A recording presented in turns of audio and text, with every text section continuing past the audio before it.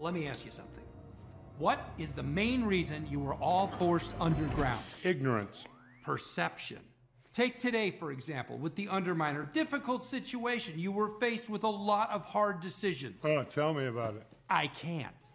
Because I didn't see it. Neither did anyone else.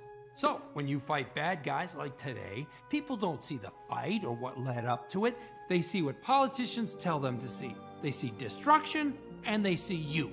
So, if we want to change people's perceptions about superheroes, we need you to share your perceptions with the world. How do we do that? With cameras. We need you to share your perceptions with the world. How do we do that? We embed tiny cameras like those into your super suits. Wow, so small. And the picture is outstanding. Thanks. Designed them myself.